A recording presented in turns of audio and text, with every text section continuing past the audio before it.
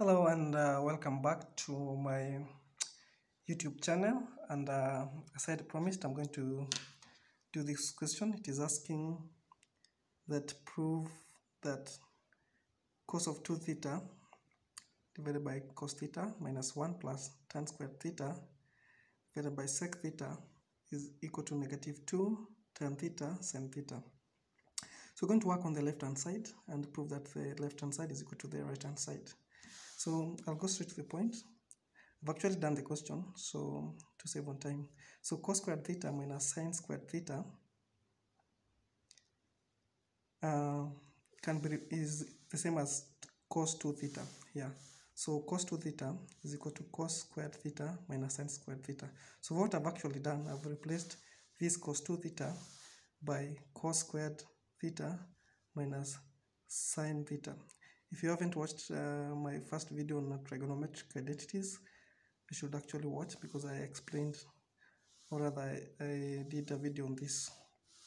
Now 1 plus tan squared theta is the same as sec squared theta. So that's what I've done. I've replaced this 1 plus tan squared theta here with sec squared theta.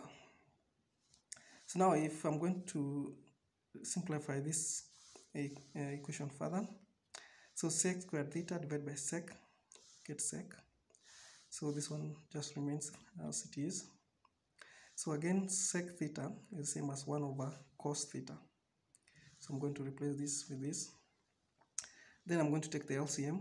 Uh, the LCM of, of this is just cos theta.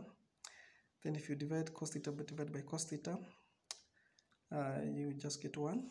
Then one, if you multiply 1 by this, you just get this then cos it again divided by cos this 1 1 times 1 is basically 1 now I'm going to replace cos squared theta minus sine squared theta by 1 minus 2 sine squared theta.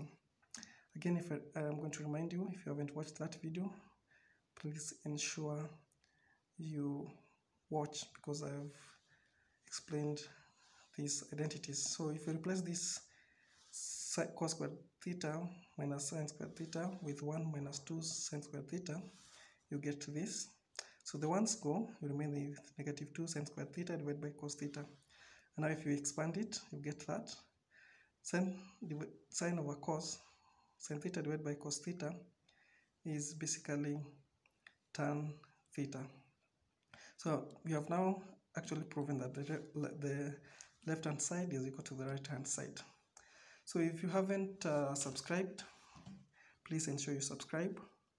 Uh, share this video to others and don't forget to give it a thumbs up. Thumbs up.